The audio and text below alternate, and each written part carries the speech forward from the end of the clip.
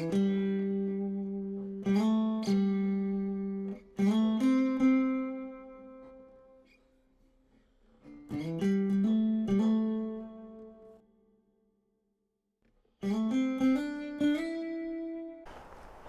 good morning. I've come out on this fine summer's morning into the forest to an area called Doolittle Moss and I was hoping to get some nice dramatic landscape photography. But I think as you can see behind me, the, the insects are all over me and the sun isn't going to play ball this morning. I'm going to be left with a very windy and probably drizzly start to the day. But I'm going to spend a few hours here anyway and see if I can get something decent.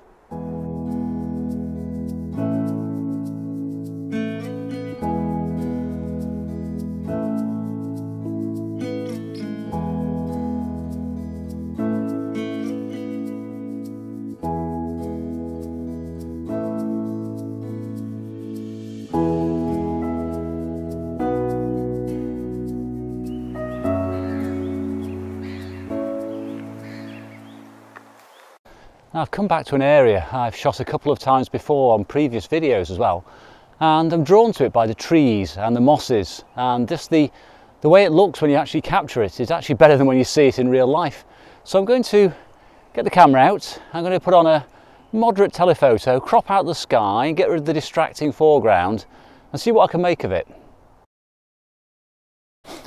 Well I've made two exposures there of this scene, really cropping into the the woodland with the slender trees there and I've managed to shoot at quite a, a wideish aperture for a long long focal length like this on medium format f11 because I have no real foreground detail there to worry about.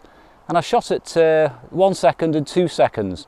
Now the reason is I want to keep the movement to a minimum. There's a bit of swaying going on in the trees. If I wanted to get everything in focus I would have needed f22 would have got movement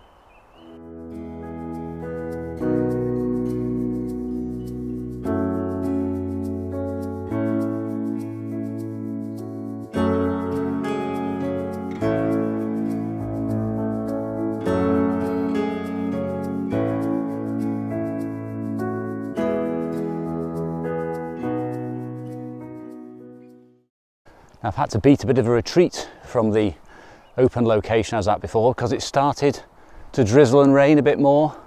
And my camera's not waterproof in the slightest, so I think I'll work around this area here for a little bit because there's some nice detail shots to be had.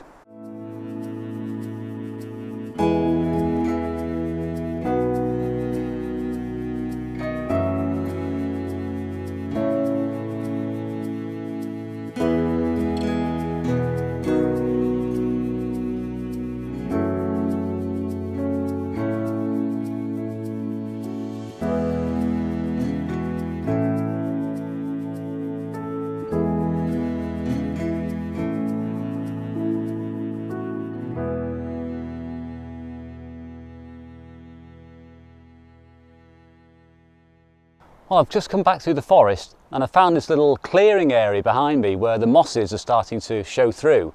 It is the middle of summer, so I'm getting some really vivid colour and I hope I can bring that out on my Ektar 100 colour negative film.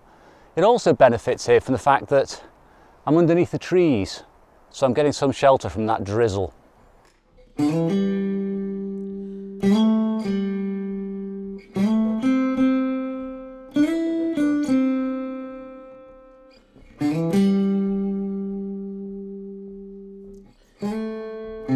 Well, sadly, I had to give up on that uh, last composition. I just couldn't make it work, and I'm not prepared to just take any old shot. I'm, I mean, I'm desperate, but I'm not that desperate, not today. But look at this behind me. It's not perfect. I mean, the light's not great, but it does look good through the viewfinder of my little Sony RX100 I'm previewing with.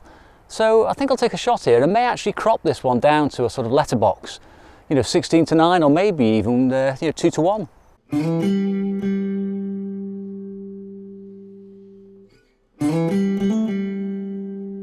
Well, I ended up taking uh, a couple of frames there. Um, nothing spectacular, as I said, but I have managed to do one with a wide angle, so I'll probably crop that down. Another one I did with the standard 80mm on the Bronica, and I'll probably keep that as a square. I'm not totally convinced though. The composition was a little bit weak, but sometimes it's worth taking these shots, get them back post-processing, might be able to bring something nice out.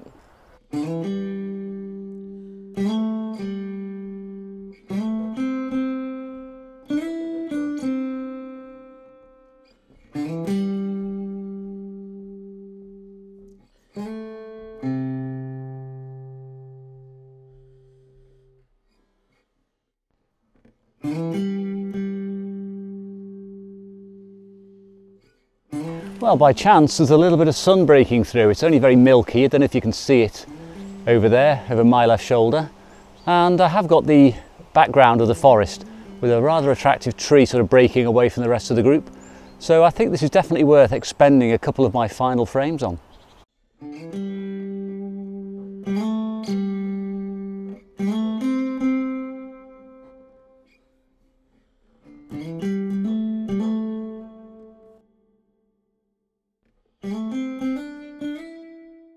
Well, that's just about the end of this little outing. Not a very long trip by any means, just an hour or so.